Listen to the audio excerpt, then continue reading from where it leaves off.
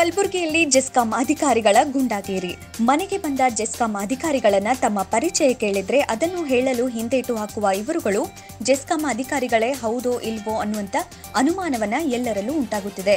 ಜೆಸ್ಕಾಂ ಅಧಿಕಾರಿಗಳಿಗೆ ತಮ್ಮದೇ ಆದ ಡ್ರೆಸ್ ಕೋಡ್ ಮತ್ತು ಐಡಿ ಕಾರ್ಡ್ಗಳನ್ನು ಕಡ್ಡಾಯಗೊಳಿಸಿದ್ರೂ. ಇಲಾಖೆ ಯಾವುದೇ ಸಮವಸ್ತ್ರವಿಲ್ಲದೆ ಮನೆ ಮನೆಗೆ ತೆರಳುವುದು ಸಾರ್ವಜನಿಕರಿಗೆ ಬೇಕಾಬಿಟ್ಟಿಯಾಗಿ ಮಾತನಾಡಿ, ತಮ್ಮ ಪರಿಚಯ ನೀಡದೆ ಪರಿಚಯ ಬೇಕಿದ್ರೆ ಕಚೇರಿಗೆ ಬಂದು ಕೇಳಿ, ನಾನು ಹೇಳಲ್ಲ ಎಂದು ದರ್ಪದಿಂದ ಸಾರ್ವಜನಿಕರಿಗೆ ಮಾತನಾಡಿದ್ದು, ಸಾರ್ವಜನಿಕರ ಆಕ್ರೋಶಕ್ಕೆ ಗುರಿಯಾಗಿದೆ. ನೀವು ಭೀಮಾಶಂಕರ್ ಬಲ್ಲಿ ಹೋಗ್ಬೇಕು. ನಿಮ್ಮ ಹೆಸರು ರೀ ಸಾಹೇಬ್ರ? ಹೆಸರು ಹೇಳ್ರಿ. ಹೆಸರು ನಾವು ಹೇಳಲ್ಲ ಐಡಿ ಕಾರ್ಡ್ ಎಲ್ಲದ ನಿಮ್ದು. ಆಫೀಸ್ ಬರ್ರಿ ಆಫೀಸ್ ಯಾರು ಬರ್ರಿ ನೀವು office office area section officer ಅದೇ ತೋರ್ಸ್ರಿ. ID card. ಬರ್ರಿ ಐಡಿ ಕಾರ್ಡ್ ಬೇಕಾದ್ರೆ ಬರ್ರಿ ತೋರ್ಸ್ರಿ. ಯಾರೋ ಬರ್ತೀರಿ,